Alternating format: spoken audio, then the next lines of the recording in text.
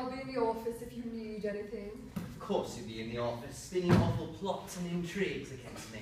If I think of anything, I will. Turn the telephone off, Monica. Right.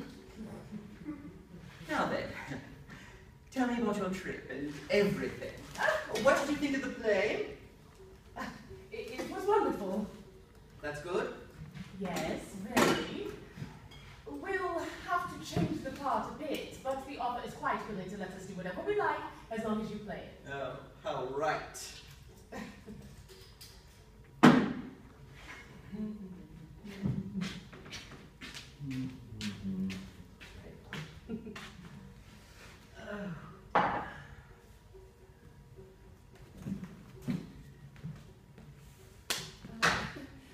now then, I, I'd like to talk to you about something.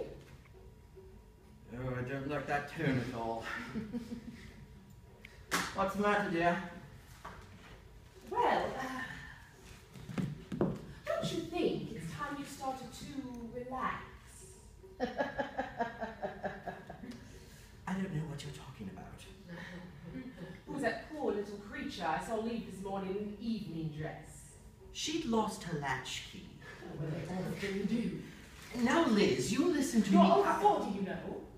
Only just. In my humble opinion, it's high time you stop this casual scampering about. It's rather undignified. Scampering, indeed. You have a genius for putting things unpleasantly. Don't misunderstand me. I'm not taking a moral view. I gave that up as hopeless years ago. Oh. it's all very fine for you to come roaring back from Paris after doing God knows what and just start to bully me. I'm not bullying you. Yes, are. You're sitting smug as be damned on an awful little cloud blowing down. Don't bluster. Who left my bed and board, deserted me, and left me a prey to everyone else? Answer me that. I did. Thank God. Well then, Well, would you rather I had stayed? certainly not. You drove me mad. then stop all this shilly-shallying about and pay attention. This, to date, is the most irritating morning of my life. You have come to a point in your life where a little restraint would be becoming. La dee da. You are no longer a debonair, irresistible juvenile. You are an eminent man approaching with every sign of reluctance, middle age. May God forgive you. Enough of that now. We all are aware of your irresistible fascination. We've put up with it monotonously for 10 years, 20 years. Oh, I first met you 11 years ago this August, and you were wearing a very silly hat, really. It was-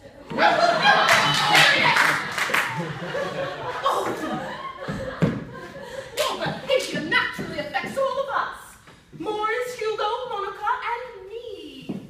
Oh, can't you just try not to be so devastatingly charming all the time? Why don't you try to be a little unattractive? You really might take to it like a duck to water. Oh dear, Liz. You really are very sweet. Might as well have been speaking Chinese. I admit I'm a trifle reckless every now and then, but I rarely don't do much harm to anybody. Oh, you do harm to yourself. The few, well, the very few who really mind about you. I suppose you've discussed this with Monica, Morris, and Hugo? Not yet. But I will if I don't see some improvement. The thing that astonishes me really is people's arrogance. It's fantastic. Look at you all, gossiping in corners, whispering behind your fans, telling me what to do and what not to do. It's downright sauce, that's what it is. what would happen if I relaxed my loving hold on any of you for a moment? Disaster. I go to New York to play a three-month season, and as I'm gone, Hugo immediately comes down with pneumonia, goes to Biarritz to recover, meets Joanna, and marries her. I go to the south of France for a quick holiday. By the time I return, you and Morris, between the two of you, have bought the dullest Hungarian play ever written and produced it with Phoebe Lucas in the leading role. Phoebe Lucas! Playing a young courtesan with about as much sex appeal as a Finnan haddie. And how long did it run, dear? Hmm? One week. And that's only because the press said it was lascivious. So isn't all this a little beside the point? Certainly not. Twenty years ago, Hugo poured all of his money into a lousy play entitled The Lost Cavalier. And who played it for 18 months to capacity with extra matinees? I did. and who began his career as a producer on that play? Morris. I really wish you'd stop asking questions and answering them yourself. It makes me giddy. Where would they be without me? Where would any of you be without me? Where would Monica be if snatched her away from that sinister old aunt of hers? With that sinister old aunt. Hmm. And you, dear. Dear you. the most melancholy and depressing actress on the English stage. Oh.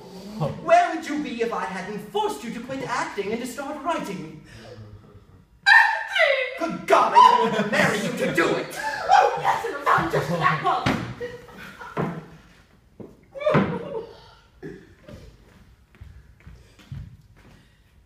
You adored me, you know you did.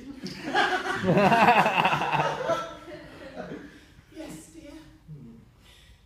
So chivalrous. the way you keep rubbing it in all of our faces, the way we depend on you to breathe. I didn't say that, Liz. You're just as dependent on us anyhow. Hmm. We stop you from being extravagant hmm. and buying houses every five minutes. Hmm. We stopped you in the nick of time from playing Peer Gynt. I still maintain that I would have been magnificent as Peer Gynt! And moreover, we stop you.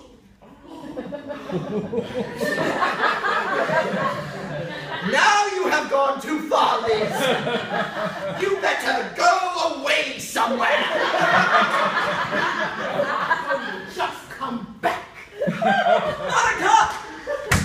Monica, come in here at once! What on earth's the matter? Have you, or have you